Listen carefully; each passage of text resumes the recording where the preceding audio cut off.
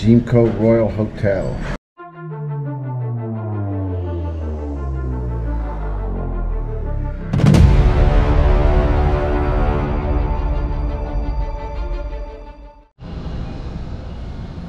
And Baybay. Here's what 1,300 pesos gets you. Check out the view.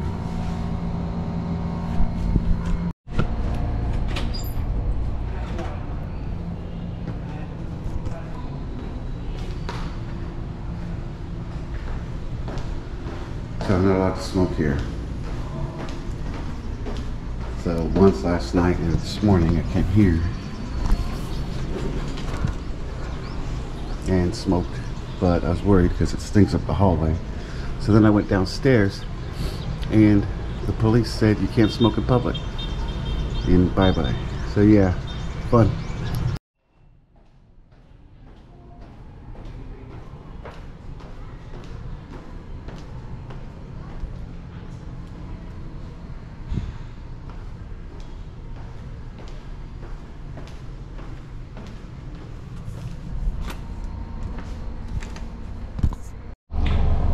Yeah, I got bit by something in the middle of the night and side of my face is numb and it's swollen. So yeah, fun, fun, fun hotel.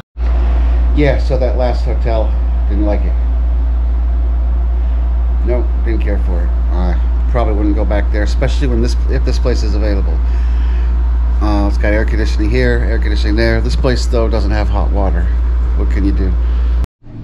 Hey guys, Hades here again. Uh, I'm going to give a little more of a wrap up um, because I lost a lot of my videos in Leyte. Um, they're just gone. And uh, video's very short. Not that I'm trying to pad it or anything, but a couple things.